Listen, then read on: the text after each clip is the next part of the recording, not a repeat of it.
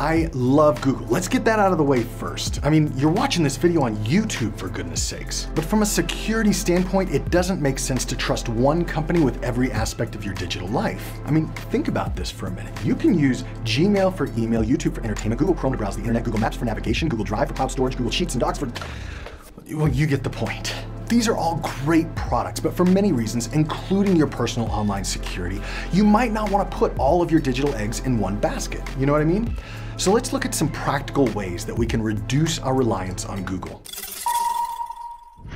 Number one, ditch Google Chrome. I know how fast it is, I know how easy it is to use, but you don't understand how much of what you're doing online is being tracked, even if it's only anonymously, when you use Google Chrome. What you may not realize is that there are a number of great alternatives to Chrome, including Microsoft Edge, Mozilla Firefox, which is what I use, Brave, which is an open source option, or even Tor, which is a more secure way to browse the internet. There's no denying the fact that Google uses Chrome to gather data on how users search and browse the internet. And if you don't want to be a part of that, then the best thing you can do is ditch Chrome for one of the alternatives. Number two, if you're not willing to ditch Chrome, then the least that you can do is stop using the Google Chrome password manager. I know it's convenient and I know that it's just as secure as any other option out there, but the fact remains that browser-based password managers are vulnerable because anybody who has access to your computer automatically has access to those passwords. The good news here is that there are great password manager alternatives that you can use.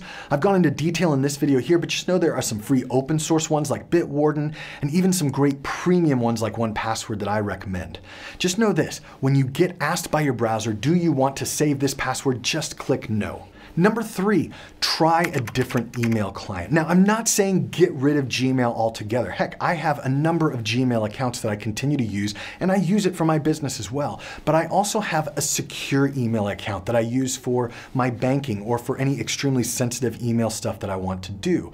This means that if someone hacks into my Gmail account, they don't automatically have access into the sensitive things that I do, like my banking, my investment, or even my personal communications that I want to keep private. Again, there are some great alternative options here, including Proton Mail, which is what I use and recommend, Tutanota, or even the free options like Outlook, Yahoo, or iCloud Mail. You don't have to move all of your email away from Gmail, but it might not be a bad idea to separate out your most sensitive email communications and logins to that secured, separated email account.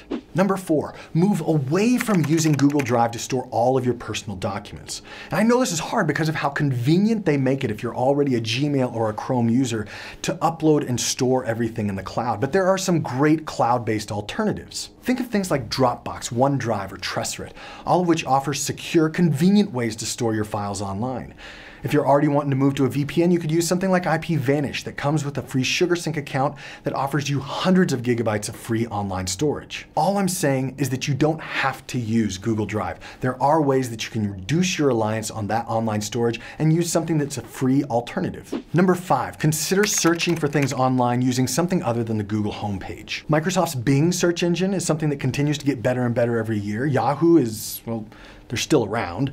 And then you've got something like DuckDuckGo, which is a very privacy-focused search engine that doesn't store any of your search history. The problem here is that Google search is hands down the best option on the market right now.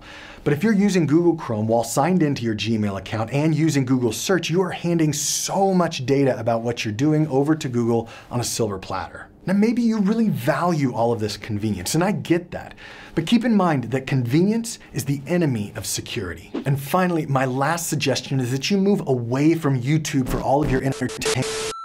I have been informed that I made a grave error and I need to apologize for what I just said.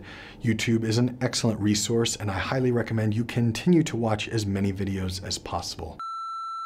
All right, all kidding aside, if you've looked around, you know that there aren't many great alternatives to YouTube. Dailymotion, Vimeo, they just don't have the breadth and quality of content that YouTube does. What you can do if you're worried about your privacy is maybe search around on YouTube when you're not logged into your Gmail account or even in an incognito mode on your browser. I'm sure there are plenty of other ways to reduce your reliance on Google, and if you have something that I've missed here, put it in the comments below and go ahead and check the comments to see what other people have said, and maybe this community can kind of help each other out here. If you enjoyed this video, the best thing you can do right now is like it and subscribe to the All Things Secured YouTube channel where I'm gonna be providing weekly videos on online security tips.